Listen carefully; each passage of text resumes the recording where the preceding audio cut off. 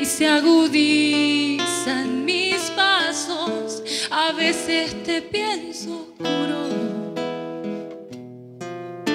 y a veces claro y creo, no, no, no, en lo que tengo y nada más. ¿Cómo estarás de sordo si no escuchas? Y aprenderé a ser aire.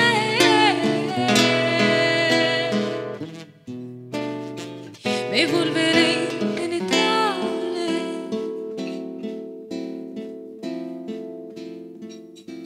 Y en el frenesí